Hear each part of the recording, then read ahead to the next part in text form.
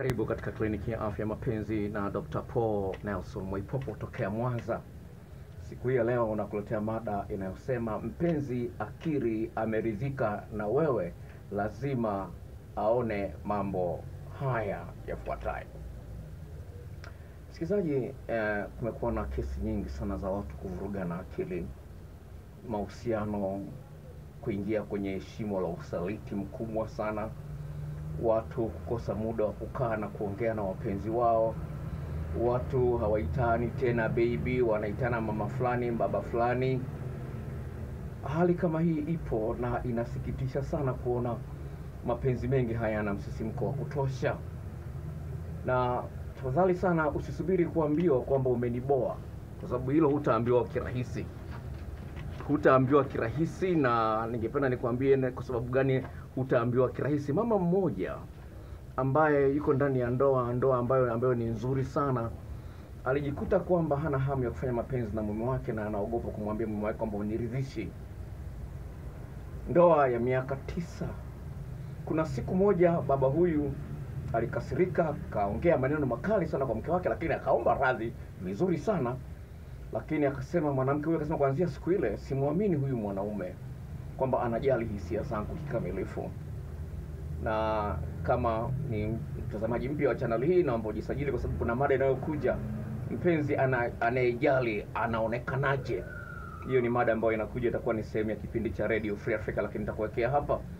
Lakini kule ni kwamba kwambia kwamba kwamba akasema akasema kama ameshindwa amenikemea hivi, akasema nashukuru haikuwa mbele ya watoto ameongea maneno makali ambayo anasema japokuwa ni muda mrefu, lakini mpaka sasa hivi nikiyakumbuka naumia. Ni maneno tu, hakusalitiwa, ni maneno peke yake.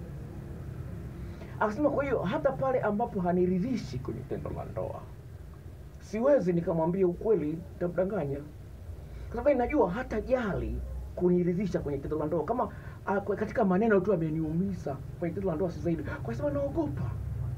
Sasa anauliza anauliza, sasa nifanyeje?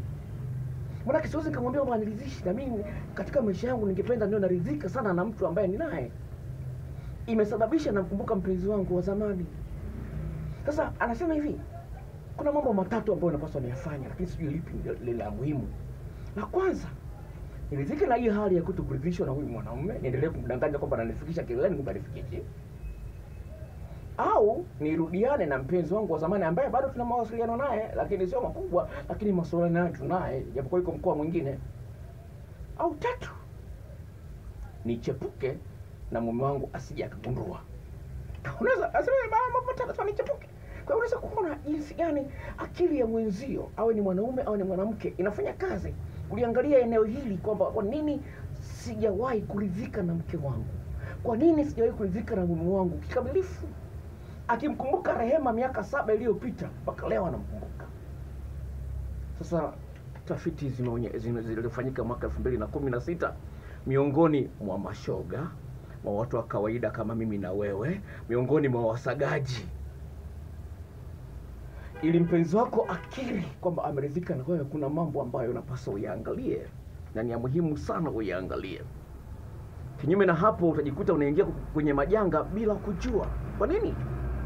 Kwa sababu akili yetu inapenda ipate jibu, kwa nini siridhiki na mke wangu? Kwa nini siridhiki na mume wangu?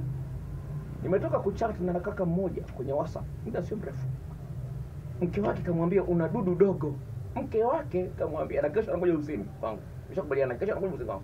Mke wake kamwambia na dudu dogo, na amekiri kweli, ni kweli ana.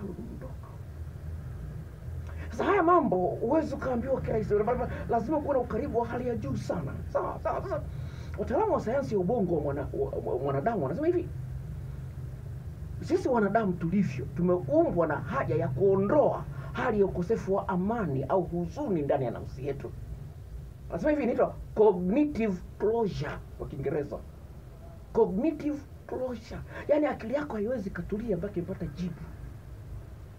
Sasa haya mambo sawa sawa sawa sawa, haya mambo yataendelea kumsumbua mwenzio, wakati wa ujui unamwona anacheka, lakini kumbe ameshaanza kufikiria nirudiane na mpenzi wa zamani au vipi?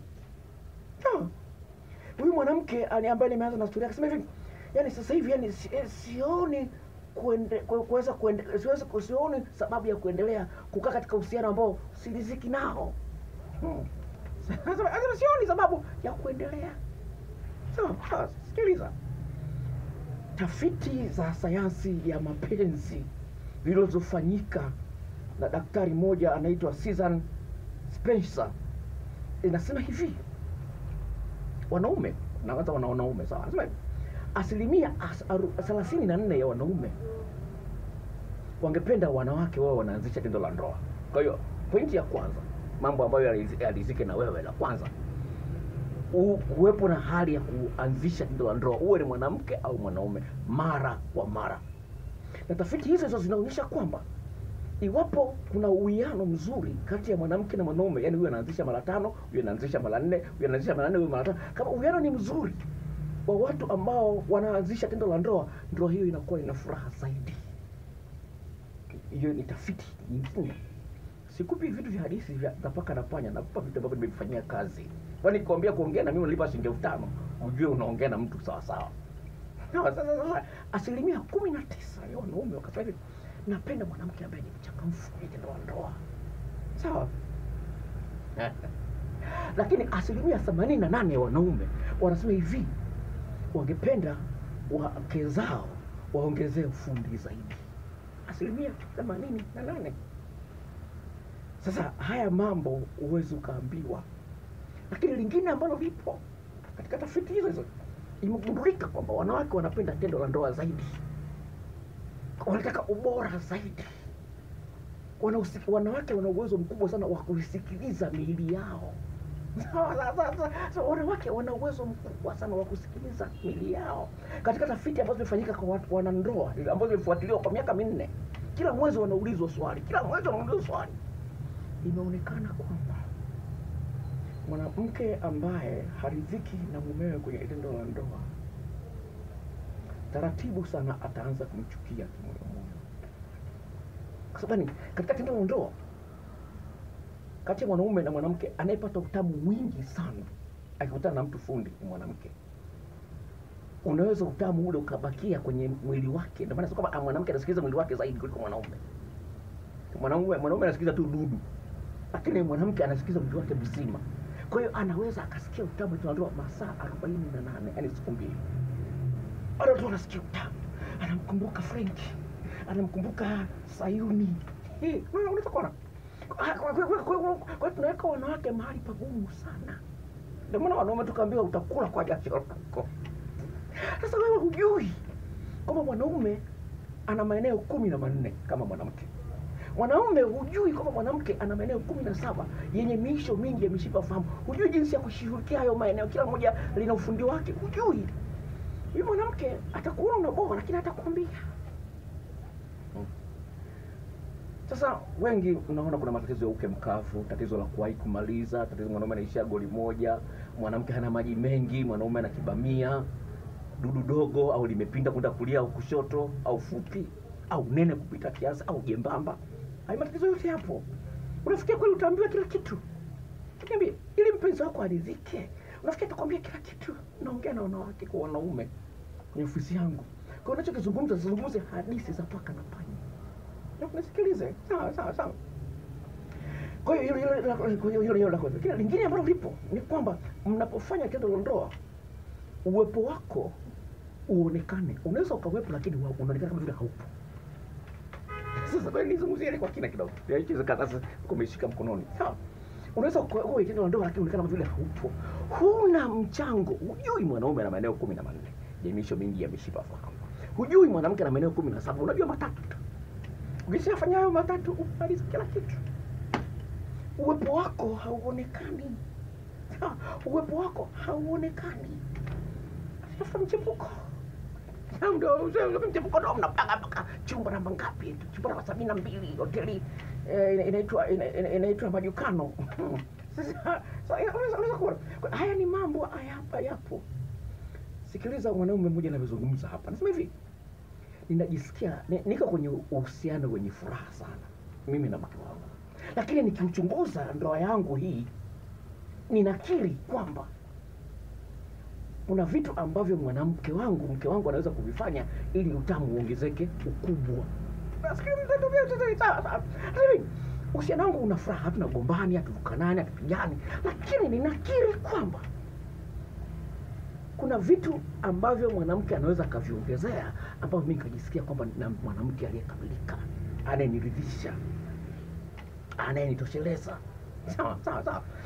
Sasa hilo utaambiwa sawa sawa ili akiri kwamba ameridhika na wewe kuna vitu ambavyo nipasa uongezee lakini hujaambiwa bado na unasubiri kuambiwa. Hmm. sawa sawa. Lingine ambalo limeonekana ambalo linachangia kwa mapenzi kuharibika ni pale ambapo mwenzio anakuambia nataka tucheze ngoma ya wakubwa wewe unagoma. Unagoma. Sasa tafsiri ya kisa- sayansi inasema hivi Kiingereza inasema hivi accepting partners sexual advance or having your advance accepted by your partner is associated with the benefit to relationship and satisfaction. Hata kukubali pale mwenzio anapokuomba tendo la ndoa. Au au ku- kuona kwamba umekubaliwa na mpenzi wako vinahusiana na mtu kuridhika na wewe. Inasababisha hisia za kwamba bado wewe unatamanika bado wewe ni wa muhimu. Bado wewe ni mtamu. Sawa sawa sawa wataalamu hao wanasema hivi more frequent sexual rejection is associated with low sexual satisfaction and relationship satisfaction. Pale ambapo unakataliwa mara nyingi leo bwana sijisikii sijui kwa mara nyingi kuliko zile ambazo unakubaliwa utapata shida kuridhika na mwenzio na utakuwa na uhusiano haufai nimekosea kuolewa na huyu mwanaume. Nimekosea kuoa huyu mwanamke. Jiulize swali. Unayoyafanya kwa mwanaume uliye naye mwanamke uliye naye una uhakika yanatosha? Unao uhakika yanatosha? Kama una uhakika unangoja nini? Hmm. mwanamke mmoja akagundua kila mwezi anamuuliza mume wake. Je nifanye nini? Ujisikie vizuri zaidi huu mwezi mwingine unaoingia kwa mfano huu ni mwezi wa kumi.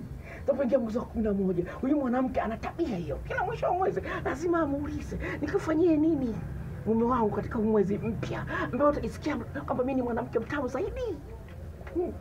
Sasa imekuwa ni tabia yake na hiyo tabia naipenda kabla tendo la ndoa halijawa linaboa linaanza kuto kutamanika unaikuta mwenzio mlikuwa nafanya mara tano kwa wiki inaanza ma inakuja mara mbili kwa wiki. Ukishaanza alikuwa na kuandaa sana amepunguza kukuandaa. Sawa. Ukishaanza kuona hivyo tambua unaenda kwenye majanga.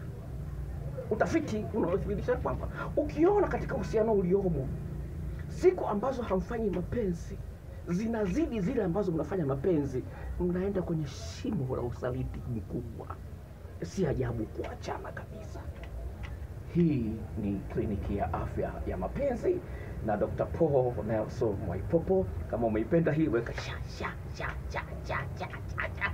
na forward kwa wenzio washare wenzio, lakini ukitaka ushauri kwenye angalia kuna video ziko hapo chini, kuna video hapo chini ziangalie, zitakusaidia sana. Kuna video ziko hapo chini, orodha ya mambo ambayo unaweza kukusaidia hapo hapo chini. Namba yangu ya simu ni ifuatayo. Naweza kutumia video hizo kwa gharama ya, ya shilingi 10,000 kwa njia ya Gmail. Na kama unaangalia video hii kwa mara ya kwanza, jisajili ili nikaweka video mpya ambayo inasema ili mpenzi wako ajue unamjali, kuna mambo gani ambayo anayaangalia.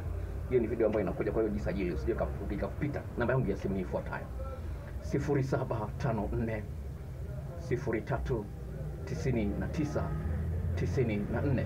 Narudia 0754 03 99 94 0754 03 9994. Bye bye.